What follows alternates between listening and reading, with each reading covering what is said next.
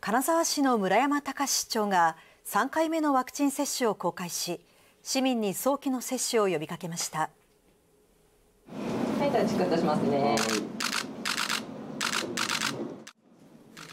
公務を調整し3回目の接種を受けた村山金沢市長。